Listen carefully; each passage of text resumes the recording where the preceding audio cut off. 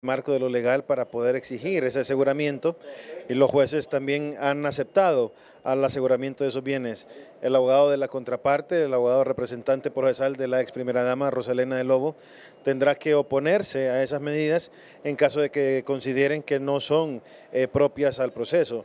Eh, en caso que el juzgado eh, rechace esa solicitud por parte del representante procesal de la ex primera dama, tendrá que interponer los recursos que le franquea la ley para la oposición de esas medidas. Dentro eh, de lo que hemos visto, todavía el proceso se sigue desarrollando con normalidad y tendremos que estar atentos a ver cuál es el normal desenvolvimiento del trabajo, tanto del Ministerio Público como de la parte defendida. Sí, claro, el aseguramiento de bienes es una medida cautelar que permite hacerlo el proceso penal.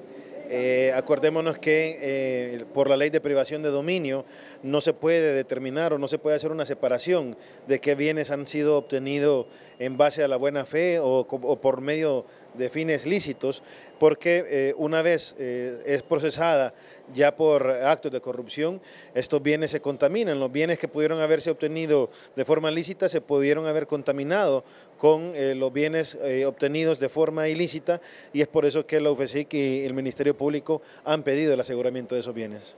Abogado, esta situación, eh, dice el expresidente Porfirio Lugo Sosa que los inocentes están presos, los corruptos están en las calles, los patos le están disparando las escopetas.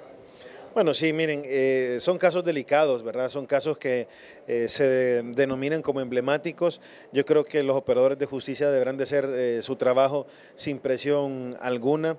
los abogados tendrán que hacer su mejor labor para tratar de demostrar su culpabilidad como eh, la parte acusadora y la inocencia eh, como la parte defensora.